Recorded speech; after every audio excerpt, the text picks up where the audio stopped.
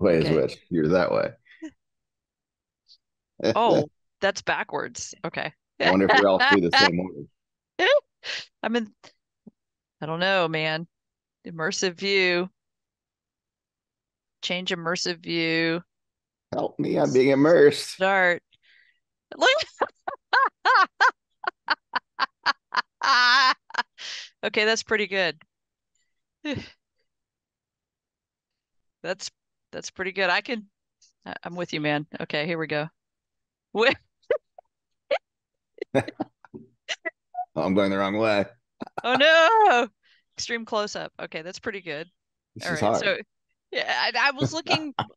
So I'm hoping next week. Let's see, is it'll be next week maybe uh, for October that we'll have the the old. Um, oh look, see Matthew's here. Okay, let's let's change immersive. I have to change it and start it for every new person. Um, cool. Hi- Greetings, Matthew. Thank you so much for joining us, and and greetings, James, and then Ed. Ed's here too. All right, good. We got a full lineup here. If anybody else shows up, then they don't fit at the at the table. That's bad.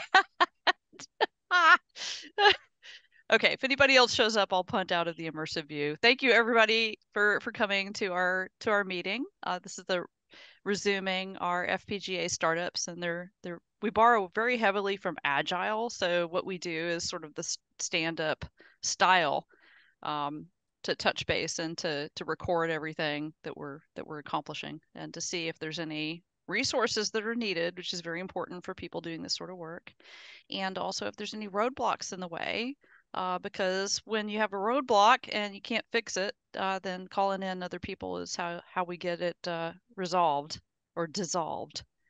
So that's the that's the whole point. So yeah, let's let's go down the table. So greeting greetings, Matthew. Uh, if you'd like to to lead us off here uh, with uh, i- i- introduce yourself and and tell us what you've been up to, what you got planned, if you need any resources or have any roadblocks or anything else. Uh, yeah, sure. I'm just as by way of introduction, um, Matthew Wishick. I've um, lived in the San Diego area for many, many years. Uh, recently relocated to New Mexico. Um, but while I was in San Diego, I'd worked uh, just so as part of an introduction, I, I'd worked at TRW on the F22 project, spent a few years at Nokia mobile phones, and then uh, went to a a uh, startup up in Encinitas, uh, Comquest Technologies, where uh, it's been an interesting journey. Um, being we were part of uh, IBM for a while and part of a startup that did an IPO, and then um, got sold to a company in Santa Barbara we've been with for the last 20 years. And so uh, it's just been an interesting progression. Uh, my expertise is ASICs and FPGAs. Um, and I'm uh, working on um, in my day job uh, multi gigabit uh, QAM modulation modems. Um, so I'm just trying to kind of get my foot in the door here with ORI. I haven't done any projects yet or really participated in anything. Um, I'm trying to see how I can integrate, uh, you know, my work schedule with uh, being able to volunteer and doing some uh, participation here. So I'm just kind of lurking at the moment, um, but wanted to join in and you know get more get my feet wet, uh, more wet as it were, to um, again see how I can uh, fit in and contribute. So that's uh, my story, and thank you for letting me share. Wow, so you have a wealth of experience, and I'm sure a lot of stories. Uh, that's a, quite a broad diversity of uh, of things that you've encountered in the world. Uh, thank you so much for for being here, and uh, yeah, hopefully we can um, present to you a variety of things to do and the resources that that we have. Um, so yeah, look, looking forward to that. Thank you. Yeah, go ahead, Ken. Tell us uh, what you've been up to and what you got planned and roadblocks and resources Yeah. needed. Uh, it's interesting you mentioned Comquest. Our neighbor Dan Beach uh, used to work there. I don't know if you know Dan, but uh, you know, I, I, you know, the um, conquest was kind of at the time. There were two major groups there: a, uh, a broadband group, um, which I was part of, and then the the AMPS uh, cell phone chipset group. And so, I don't really The name sounds vaguely familiar, but I don't think I really worked with him at all.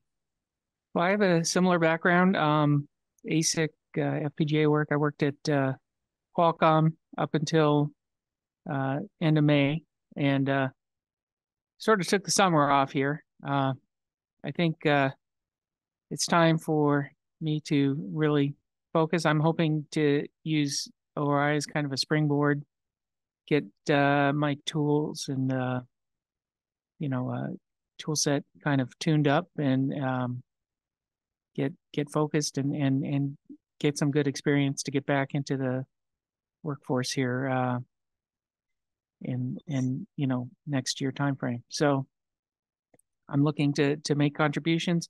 I have a background in modems, FPGAs, ASICs, and uh, right now I'm uh, currently going through uh, Fred Harris's uh, uh, multi-rate uh, filter book that uh, Michelle loaned me. So I'm enjoying that. It's actually That's a great. an book. easier read than the other book she gave me. So, so anyway, that's I, I, what I've, I've been up to. Beating my head on multi-rate filters a lot lately.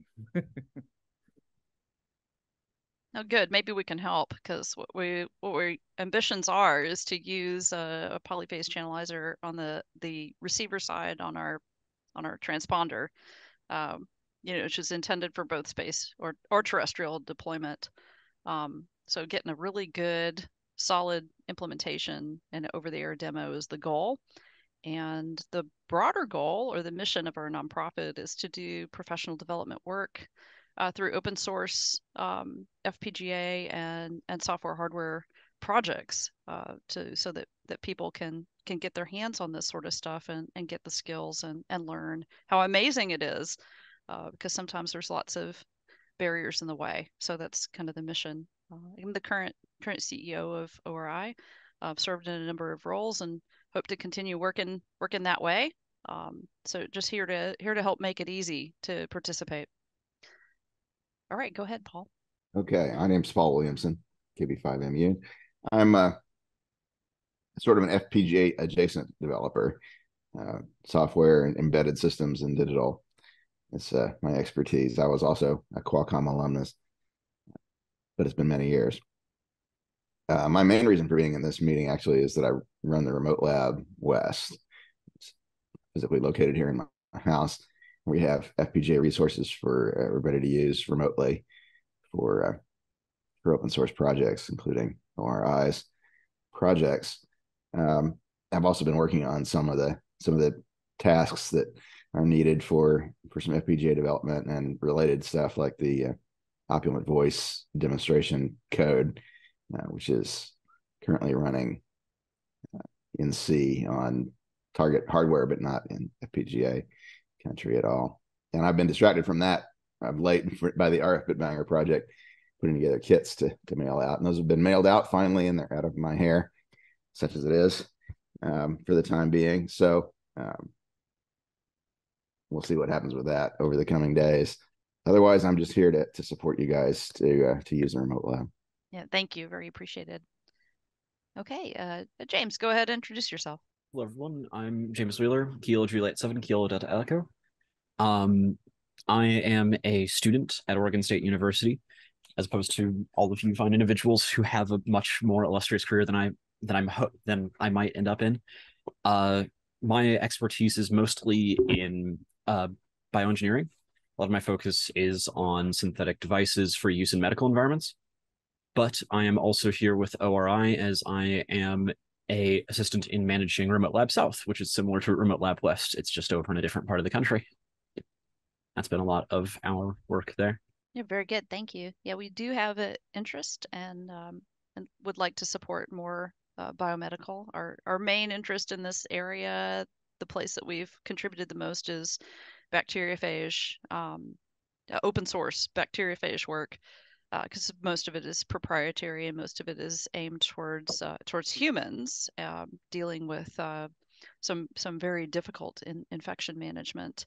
Um, our our particular way to to try to make a lot of forward progress here is also very humanitarian, but has to do with the food supply.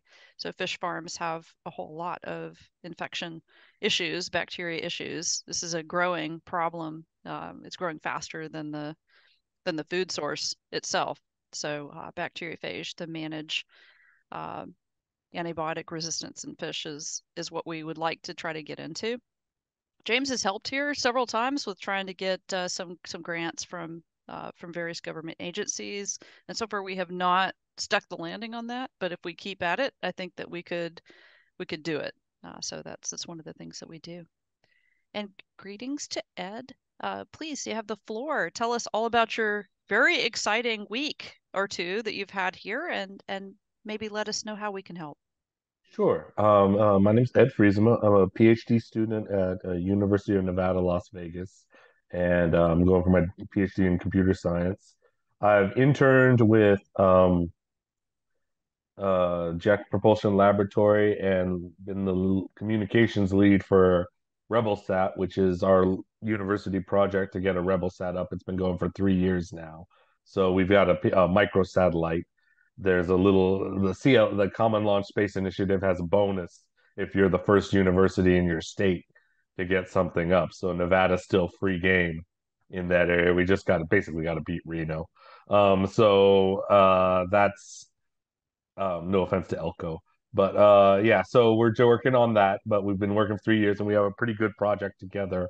And I'm not communications lead anymore, but I am helping them since they built a satellite antenna on top of our SEB building.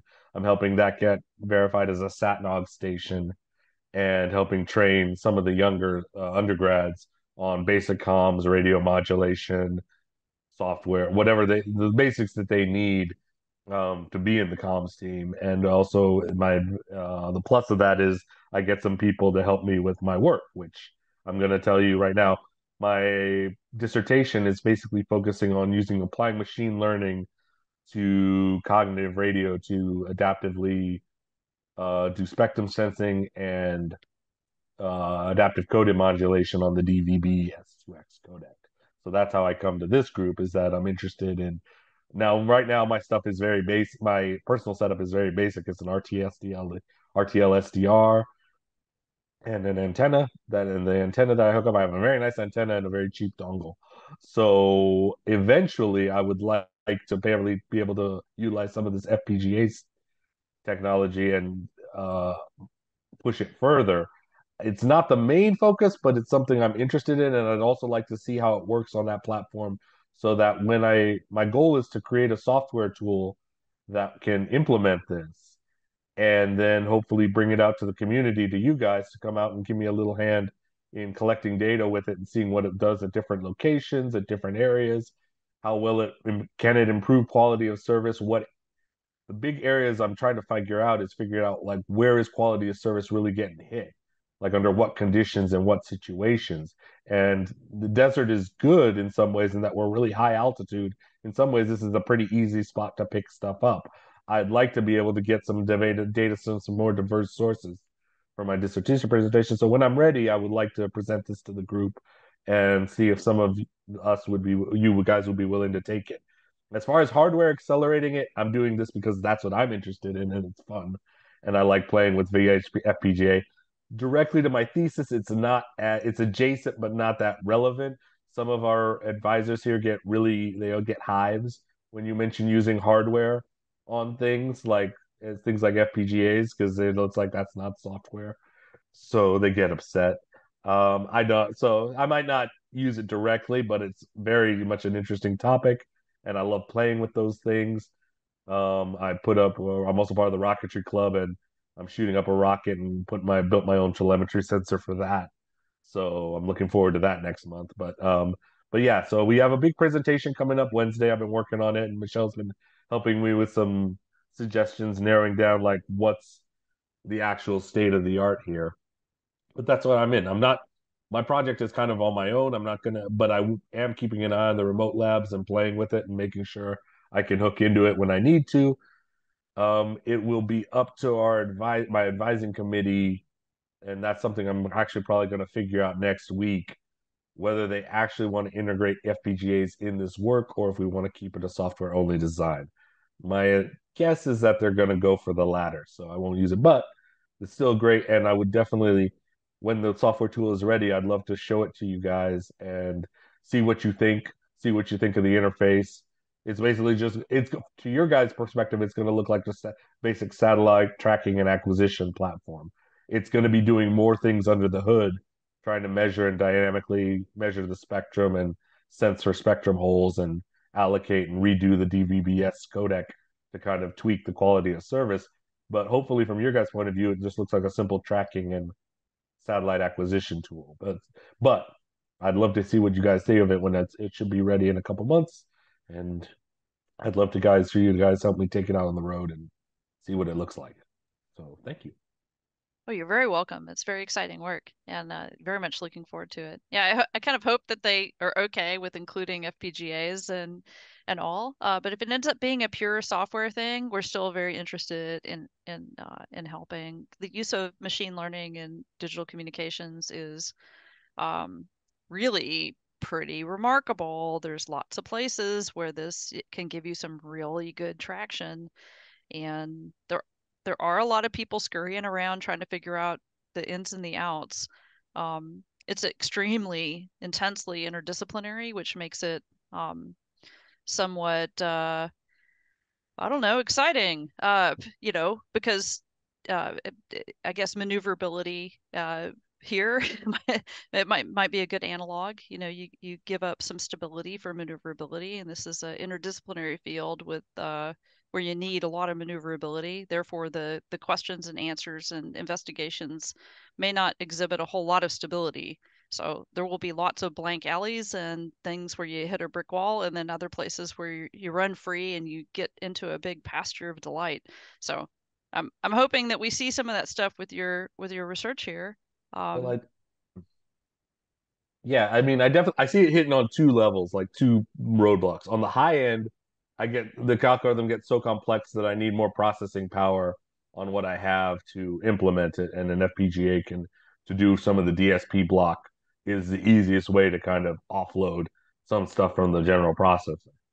Um, the other side of it is one of the big pitches of this is that these kind of systems that like like more and more with like hurricanes and other things and earthquakes and other things that are happening, emergency warning and NOAA utilization systems that can get track software data or excuse me weather satellite data quickly are needed more and more around the world in places that don't even have internet access.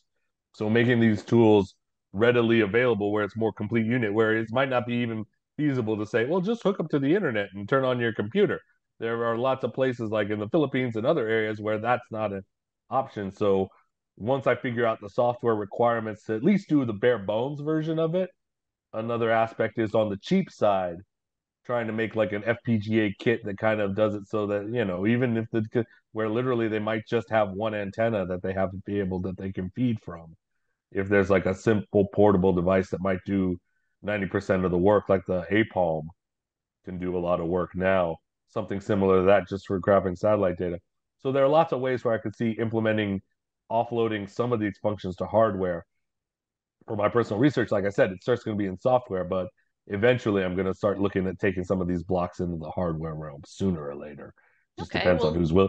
Yeah. yeah, let's uh well if you don't already have a an account with the remote lab, then we'll we can get you set up so that uh, so that that doesn't doesn't impede you. You know that that sort of uh, overhead can we can take care of now.